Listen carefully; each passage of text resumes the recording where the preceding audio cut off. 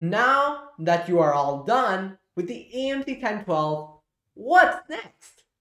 First, you should relax and take some time off to chill. You have been working so hard on preparing the entire year, you deserve a break. You can go read that book you were holding off, or if you're into writing books, maybe it's time to start working on the next one. If you're interested in science, maybe you can try Science Olympiad or Science Bowl. By the way, if you're interested in learning more about Science Bowl, leave a comment down below, and if there's enough interest, maybe I can make a video about it.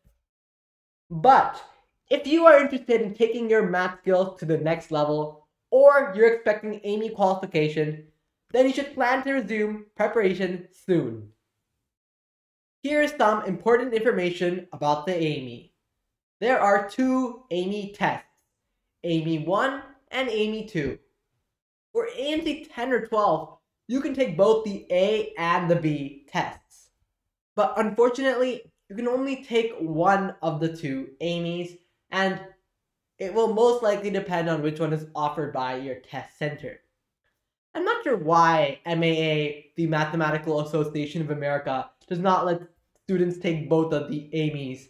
They spend so much time creating two very high quality tests, but only 20% of students who even qualify take the AIME 2. Maybe we should start a petition requesting MAA to allow students to take both AIME 1 and 2, and then they can take the best score for USAJMO and USAMO qualification. That would probably make way more sense. Please leave a comment below if you agree or have any thoughts about this. Remember, whether you took the AMC 10 or 12, the AIME is the same. And there are going to be some new concepts and techniques to learn, especially if you took the AMC 10. If you did take the AMC 10, you'll need to learn logarithms, trigonometry, complex numbers, inequalities, and topics like those. You can find those in the advanced topics in the Mastering AMC 1012 book, as you can see here. There's some good problems and examples you can check out here. You can also review the harder problems for the other chapters like geometry, number theory, algebra, and combo. There's some pretty tricky AIME problems in there which are good for practice as well. You can also check out the AOPS books, especially the intermediate series. Intermediate algebra and counting and probability are great books for the fundamentals.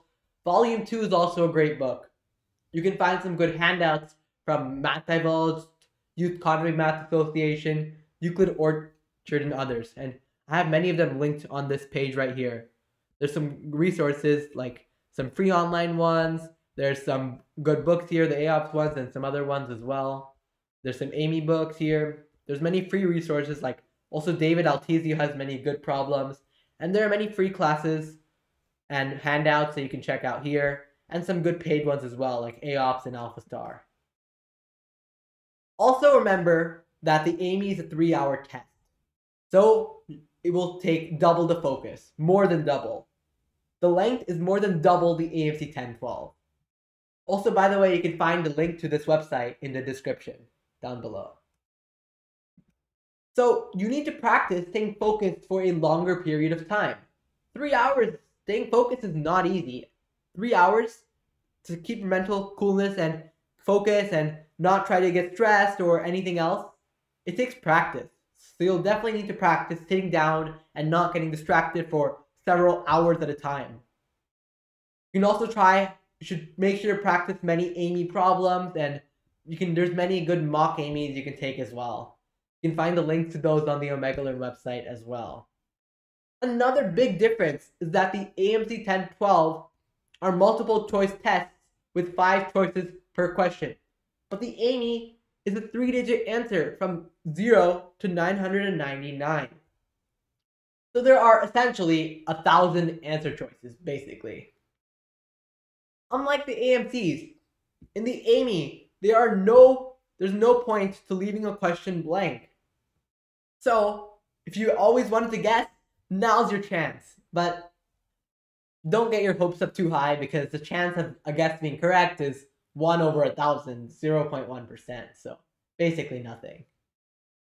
Also, be sure to go carefully and methodically for AIME problems, especially the backy ones.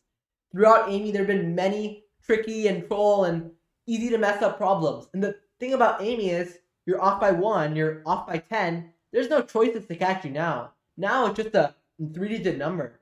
So you have to be careful because when you get a mistake, there won't be any choices to tell you that you're wrong. Please let me know if you need any other information for preparing for the AIME. You can comment down below or join the Omega Learn Discord server, link in the description.